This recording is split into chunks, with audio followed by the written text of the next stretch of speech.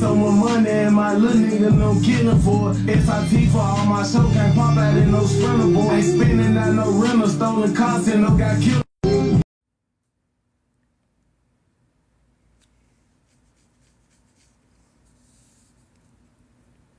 Grandma might have killed somebody before. How the hell do she know Pooh Shiesty lyrics? She dancing on beat and everything. I know she say the N-word. Loud and proud too. She can't wait for her part to come on. Nigga! Nigga!